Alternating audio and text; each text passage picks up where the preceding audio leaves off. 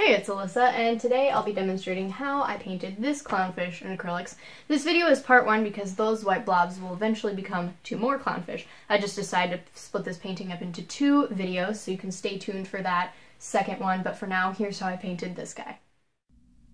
My first step here is going to be to paint all of my fish white. This is a really good tip that I picked up from another YouTube artist. What it basically does is just give me a clean slate to paint over so that my oranges and the other colors that I use later for my fish will show up without the blue of the background showing through them.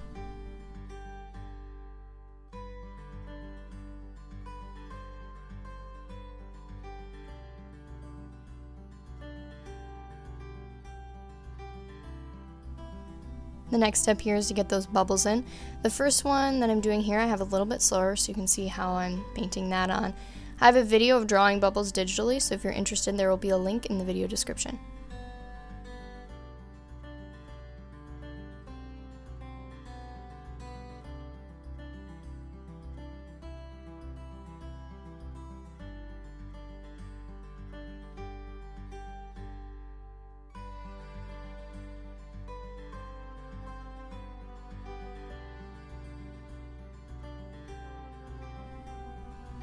One thing that I'm doing here is making sure that the blue of the background is visible in the middle of the bubble. This makes them look clear. If I painted them completely black and white, they look a lot like floating marbles, and that's not what I'm looking for there.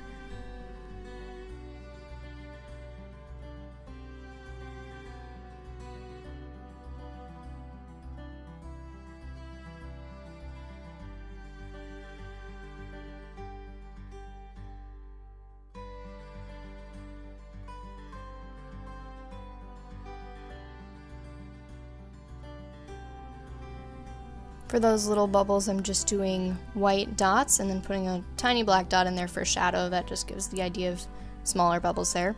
I didn't really have it planned out in the beginning how many bubbles I was going to do, but I just kept adding them in clusters until it looked like enough. This is one of those things where you don't want them to be too uniform or evenly spaced out or they won't look real. I'm trying to keep them random and random groups like they would be in water.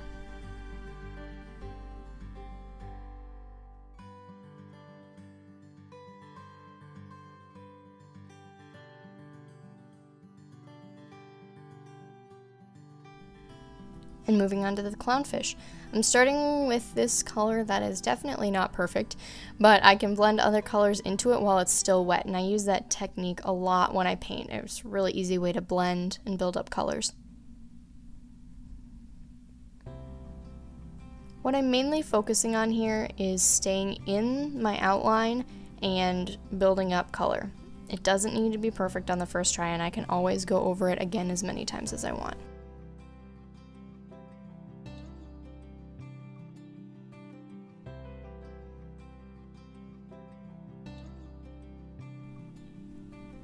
Keeping the lighter yellows and oranges towards the top of the fish, while the bottom is the darker red, gives it dimension. I don't want it to look too round, but there is a bit of that shading there.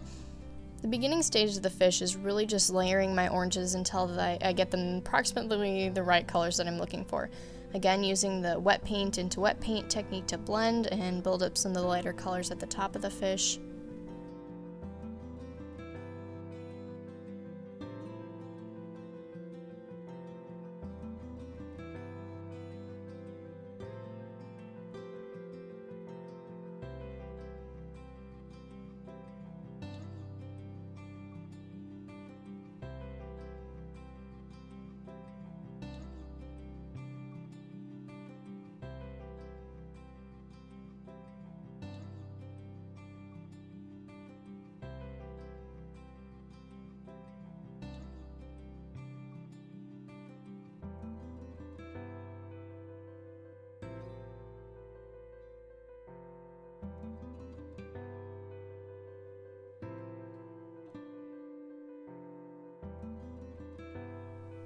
Now here I'm pulling in some of that blue. If I left the white straight white, it would look really flat. So this does give it some dimension. And I'm using the same blue that's in the background so that the fish looks like it's actually swimming in water with blue around it. Just blending that out. Here I'm also adding some highlights on this fin. It really doesn't get bright enough until I went back over it at the end. If the fin is pretty much the same color as the body of the fish, it'll blend in against the rest of the body and you won't re really be able to see it. By adding the yellow, it really makes it stand out.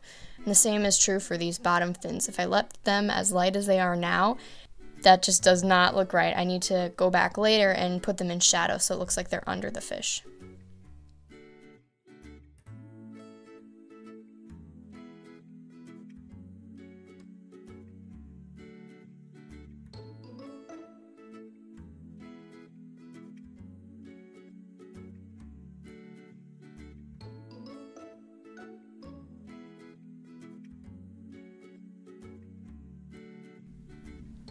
Thing that was actually a little bit challenging was putting in those black lines. They're really thin, so I have to use a really light hand to paint them in, but keeping my hand controlled and steady so that they'll come out straight, that can be a bit of a challenge.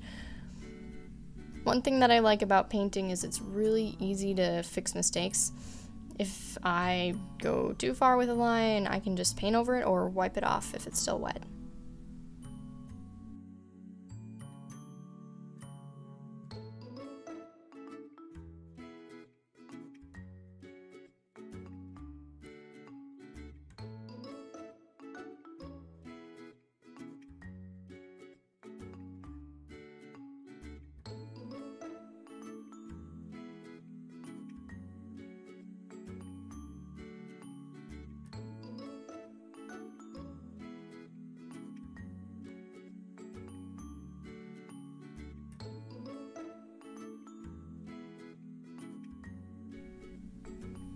Putting in the dark of the eye.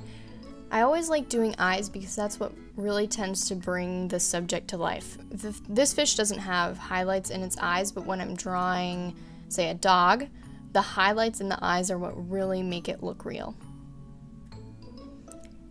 That fin is a really good example of why I put white down before I start. That first layer of orange looked pretty brown because you could see that the blue was coming through. After a couple layers, it's fine, but just saves time in the beginning.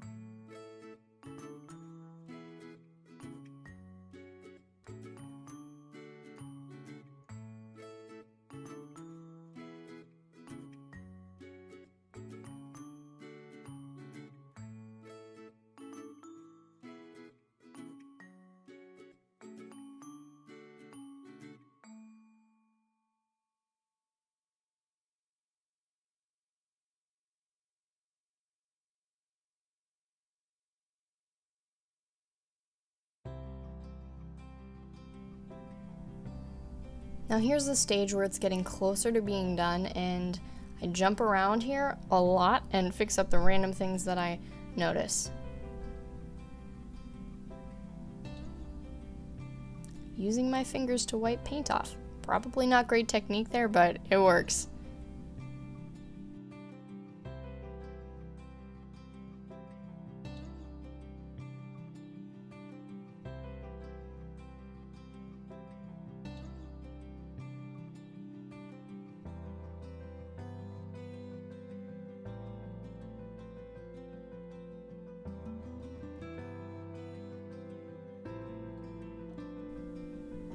Didn't really like how those top fins were looking, so I just painted over them and started over.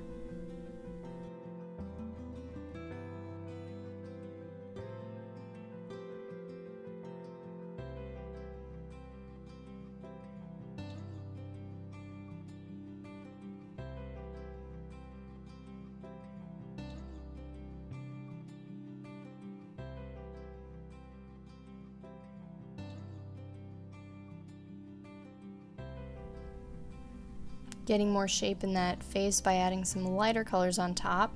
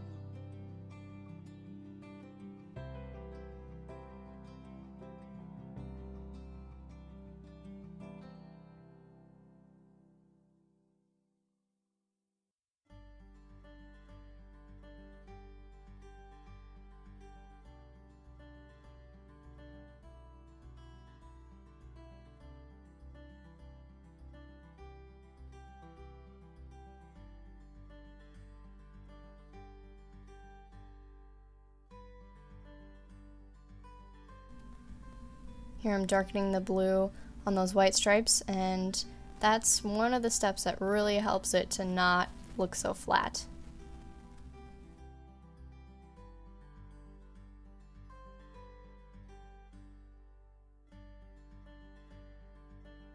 Another thing that worked about this painting is that blue and orange are complementary colors, meaning that they're opposite. When you put them together, they stand in a really stark contrast. In this case, the orange really pops out against the blue and adds a nice vivid effect.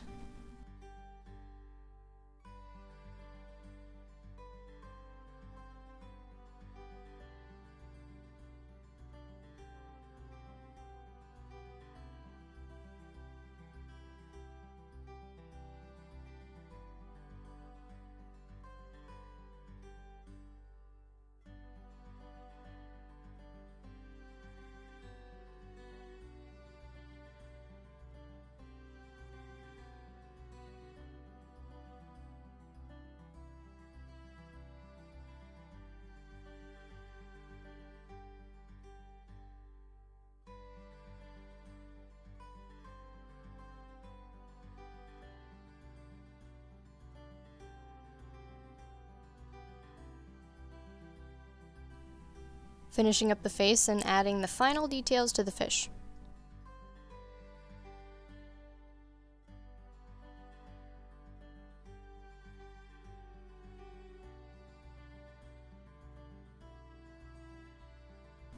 And that's all for this guy.